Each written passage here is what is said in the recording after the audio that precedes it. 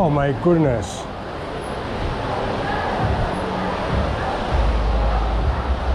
There's the bell, guys.